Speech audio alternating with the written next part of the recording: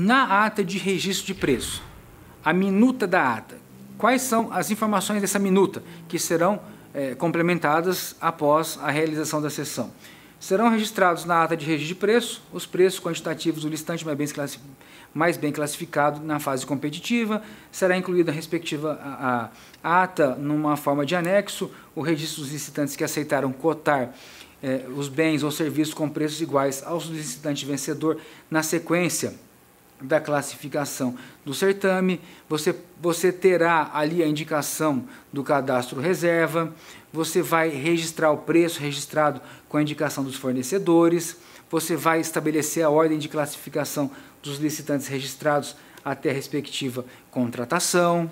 Essa ata não vai ter validade superior a um ano, superior a 12 meses. Característica aqui da ata de registro de preço previsto no decreto 7892 é vedado na ata de registro de preços efetuar os acréscimos nos quantitativos inicialmente registrados, aqueles previstos no parágrafo 1 do artigo 65 da Lei 8666. O que você quer dizer com isso, Túlio? Que na ata de registro de preços fica terminantemente proibido que ela sofra os acréscimos ou supressões. Os acréscimos ou supressões. Túlio, mas e a partir do momento que eu celebrar uma ata e depois desta ata eu vou eu poderei celebrar um contrato administrativo? Sim, um contrato. Esse contrato sim pode sofrer incidência das alterações contratuais do parágrafo 1 do artigo 65. A ata não, o contrato sim. Mas qual é a justificativa? Aparentemente, haveria uma dupla incidência se fosse permitido essa alteração na ata. Por quê? Porque eu poderia, em tese, aumentar o quantitativo da ata e depois de celebrado o contrato, aumentar o quantitativo do contrato, o que usurparia efetivamente o limite dos acréscimos previstos no parágrafo 1 do artigo 65 da Lei 8666. Ou seja, essa ata não pode sofrer alteração de quantitativo. O contrato decorrente dela pode, mas ela não pode. A vigência dos contratos decorrentes é, do sistema de registro de preços será definida no instrumento convocatório e vai observar o artigo 57 da, da Lei 8666. Ou seja, da ata eu passo para a parte dos contratos e as características dos contratos administrativos. O próprio decreto 7892 estabelece que os contratos decorrentes do sistema de registro de preço poderão ser alterados nos termos do artigo 65 da Lei 8666. E aí, tanto a alteração por acordo das partes, o contrato, tanto as alterações unilaterais lá estabelecidas, ok? Muito bem, então aqui nós trabalhamos o registro de preços e a validade da ata e as suas características essenciais. Então acompanhem comigo aqui, apenas a título didático, que nós temos uma distinção significativa. Ata de registro de preço na coluna da esquerda, contrato administrativo na coluna da direita. Ata, validade de um ano. Contrato administrativo, vigência de acordo com o artigo 57 da Lei 86 66. A ata de registro de preço é vedado os acréscimos do parágrafo 1 do artigo 65 da Lei 8666, ou seja, 25 ou 50. Para a ata é vedado. Para o contrato, é permitido desde que observe os limites do parágrafo 1 do artigo 65 da Lei 8666. Ata de registro de preço pode ser alterada? Não pode haver alteração da ata. Contrato pode ser alterado? podem ser alterados de acordo com o artigo 65 da Lei 8666. A ata de registro de preço assinada e dentro do prazo de validade pode, decorrente dessa ata, surgir um contrato administrativo. Mas desde que esse contrato seja assinado dentro do prazo de validade da ata de registro de preço. Se a ata de registro de preço finalizou hoje, amanhã você não pode assinar um contrato decorrente dessa ata, pois esta ata deixou de existir. Ok? Claro até aqui? O procedimento para a assinatura da ata, ele vai observar os mesmos procedimentos que nós utilizamos no pregão. Sessão, adjudicação, homologação, Homologado o processo licitatório, chama-se para assinar a ata de registro de preço. Quem? O gerenciador, os participantes, o, o, o fornecedor é, é, detentor do registro, os preços registrados, as características. Tá? É facultado à administração chamar o segundo colocado quando o primeiro não comparece para assinar a ata? É, desde que observadas as condições previstas para o primeiro colocado. Ata, a ata assume característica de obrigação futura? Sim, a ata assume característica de obrigação futura de fornecimento ou prestação. A recusa injustificada em assinar a ata pode ensejar penalidade para o participante? Fornecedor? Deverá, porque a lei diz que a recusa injustificada em assinar a ata de registro de preço submete o fornecedor às penalidades da lei. Quais são? Vai desde a advertência até a declaração de inidoneidade, passando pela, pelo impedimento do artigo 7 da Lei 10.520. Observe então que a recusa injustificada em assinar a ata gerará ao contratado, ao futuro registrado, melhor dizendo, as eventuais penalidades previstas na legislação, ok? Então, nós vimos aqui a questão das competências, das atribuições, de como o procedimento funciona, quem é quem, e agora vamos falar da revisão dos preços registrados.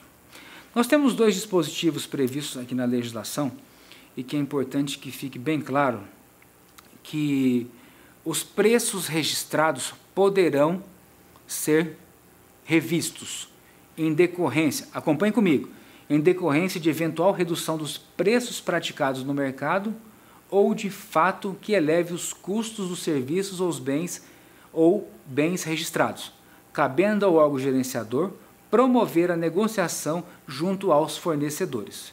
Então, nós temos na linha D do artigo 65 da Lei 8666 a, a, a situação onde a ocorrência que surgiu, surgiu de maneira imprevisível. Em surgindo de maneira imprevisível, quais são as consequências? Nós temos duas situações. Nós temos a situação em que eleva consideravelmente o preço praticado no mercado, e nós temos a condição onde ela reduz o preço que é praticado no mercado. Então, aquela ata registrada de uma maneira ou de outra não se mostra vantajosa para a administração. O que fazer nesse caso? É importante que nós tenhamos a, a, a, o esclarecimento de que, quando o preço registrado torna-se superior ao preço praticado no mercado por motivo superveniente, o órgão gerenciador convoca os fornecedores para negociarem a redução dos preços aos valores praticados pelo mercado.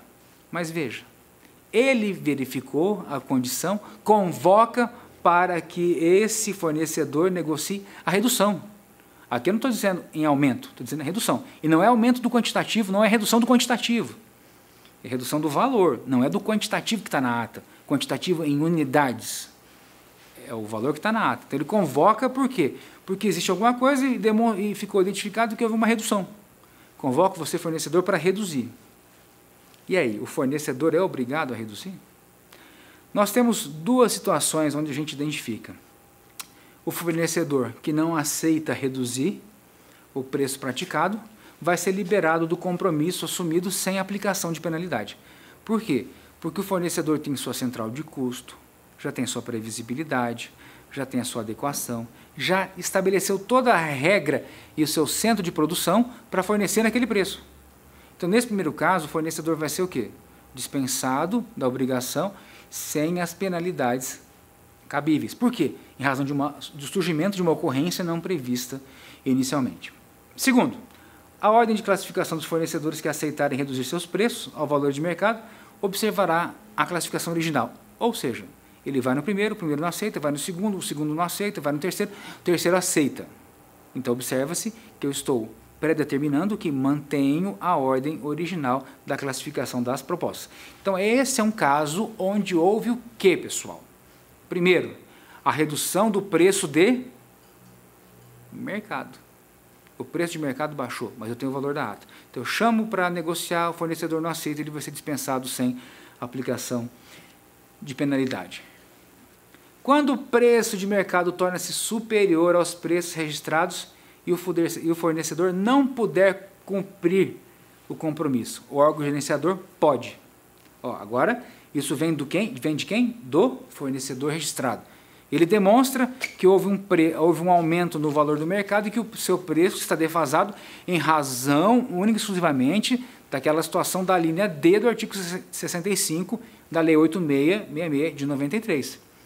Então, observe, aqui o primeiro exemplo foi o poder público, agora é o fornecedor. Então, a administração poderá, o, órgão gerenciador pode, em razão a esse fornecedor, liberar o fornecedor do compromisso assumido, caso a comunicação ocorra antes do pedido de fornecimento. Empresário, atenção. Esse pedido tem que ocorrer no surgimento da situação. Surgiu essa situação superveniente, entra com pedido.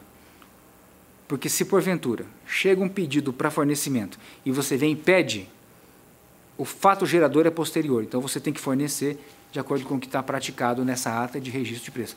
Então, observe, surgiu a ocorrência, tem, é, contemporaneamente solicite essa revisão dos preços. Por quê?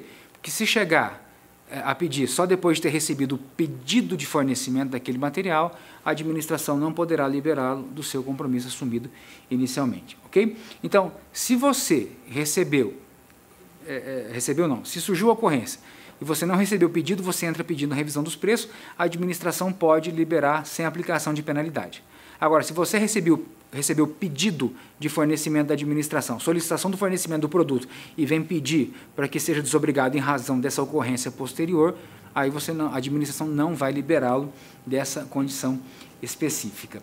E você, a administração, vai convocar os demais licitantes para que oportunamente possam assegurar essa negociação.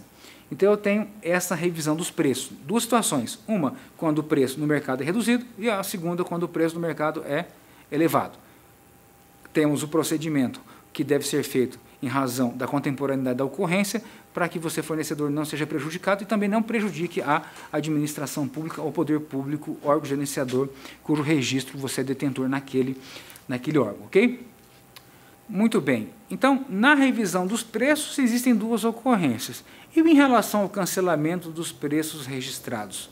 O, o, o, preço registrado pode ser cancelado? Pode. E ele pode se dar de que maneira? Ele pode, em razão do fornecedor registrado, descumprir a ata de registro de preço, e o descumprimento se dá em que? Em razão da perda de prazo, da entrega de objeto que não está de acordo com a especificação do edital, no atraso injustificado, atraso injustificado nessas entregas, ou seja, ocorrências que possam culminar com o cancelamento dessa ata de registro de preços. O que, que pode cancelar a ata? Se você tem a ata registrada e é convocado para retirar a nota de empenho para fornecer o produto, você não a retira em tempo hábil, essa ata também pode ser cancelada e você, fornecedor, pode sofrer as penalidades previstas em lei. É, esse registro de preço pode ser cancelado quando o fornecedor não aceitar reduzir o preço registrado, na hipótese desse preço se tornar superior àqueles praticados no mercado. Aí nós estamos fa falando desse cancelamento. E caso você tenha sofrido, você fornecedor tenha sofrido alguma penalidade que traga esse impedimento de ser contratado pelo poder público, e aí observado cada artigo da lei, o 87 para a lei 866 e o artigo 7 combinado com o artigo 28, o artigo 28 do decreto 5450, quando você sofrer alguma você digo fornecedor sofrer alguma sanção que possa trazer esse impedimento, em decorrência disso haverá o cancelamento da ata de registro de preço. Para os casos de que você é, é, que houve o descumprimento da ata, que não houve cumprimento integral da ata, ou que você sofreu alguma sanção do poder público, lhe será assegurado o prazo de cinco dias úteis para que você apresente uma defesa prévia em razão desse cancelamento de ata e seja observado o contraditório e ampla defesa em razão dessa, dessa situação. O cancelamento do registro de preço, ele também pode se dar em razão do, de interesse público, por fato devida, é, superveniente, devidamente comprovado, e a pedido do fornecedor, quando for o caso. Tá? A, a utilização da ata de registro de preço. Tá? A utilização da ata de registro de preço pode ser feita pelo órgão gerenciador, pelo órgão participante e, excepcionalmente, pelo participante extraordinário. Interessante esse tópico, quando nós tratamos do carona, né? O próprio decreto 7892 de 2013 estabelece que, desde que devidamente justificada a vantagem, a ata de registro de preço, durante sua vigência, poderá ser utilizada por qualquer órgão ou entidade da administração pública federal que não tenha participado do certame licitatório, mediante anuência do órgão gerenciador. Mas ela também pode ser utilizada, essa ata pode ser utilizada por ente do Estado ou do município, desde que o órgão gerenciador autorize essa adesão. Tá? O, o, os órgãos que desejarem devem consultar o órgão gerenciador. Mas também cabe ao fornecedor registrado aceitar ou não essa adesão. E essa adesão ela é limitada a quê? A 100% do quantitativo que está registrado e que esse 100% do quantitativo que esteja registrado não pode ser excedido por órgão ou entidade na adesão. E qual é o quantitativo que pode ser aderido por outros órgãos? No, antes da vigência do 7892, havia uma adesão indiscriminada. Hoje, a previsão é de que só pode haver adesão até o quíntuplo da quantidade inicialmente registrada, limitada a 100% por órgão ou entidade. Então, se eu tenho uma ata de 100 unidades, eu posso permitir a sua adesão até que cinco vezes esse quantitativo, ou seja, até que haja cinco vezes o quantitativo inicial, até 500 unidades. E percebam o seguinte, nessas 500 unidades, ela não pode exceder a 100% por órgão ou entidade. Então, o Ministério tal faz adesão 100%, 100 unidades. O Ministério tal faz adesão 100%, então, ao todo 500 unidades de adesão. Não pode exceder isso a 100% por órgão ou entidade. Ok? É, tem um detalhe. Órgão participante não tem prazo para usar a ata, desde que observe a sua validade. O órgão não participante que aderir à ata tem um prazo de 90 dias para realizar a aquisição decorrente dessa ata. Caso contrário, decairá do direito de realizar a aquisição, se não realizá-la dentro desses 90 dias. Cobrança, aplicação de penalidade, qualquer outro tipo de exigência dentro da ata é de responsabilidade desse órgão aderente, o órgão ou participante extraordinário, cobrar do seu fornecedor, desde que o fornecedor tenha aceito realizar a adesão dessa ata de registro de preços. Tá? Outro fator interessante é que no âmbito federal é vedado a adesão por órgãos federais de atas de registro de preços estaduais, municipais e do Distrito Federal. O inverso não é verdadeiro. O município pode aderir à ata federal, o Estado pode aderir à ata federal, o Distrito Federal pode aderir à ata federal. O federal é que não pode aderir à ata estadual, municipal ou do Distrito Federal, ok? Túlio, mas qual seria o motivo dessa vedação? Seria em razão, se levarmos em consideração a amplitude da, da, da publicidade, seria um fator onde eu poderia é, é, é, ancorar a minha justificativa de não realizar as adesões em, é, em, atas de Estado, município ou do Distrito Federal. ok? Por quê? Porque no âmbito de publicidade, a União a, a, abarcará, atingirá a, a, o, o, o Estado brasileiro como um todo. Né? Então seria uma justificativa aí para não poder aderir. Mas o próprio decreto veda. Órgão federal não pode aderir a ata estadual nem municipal. Ok? É facultada aos órgãos entidades municipais, distritais e estaduais a adesão à ata de registro de preço da administração pública federal. Ok? É, ao final aqui, nós deixaremos disponíveis algum, alguns acordos do Tribunal de Contas da União para que você identifique nesses assuntos que foram tratados além da motivação do próprio decreto 7892, a manifestação do Tribunal de Contas da União. Desde já agradeço a sua participação. Contem comigo, estarei aqui com vocês em outras oportunidades, em outros cursos.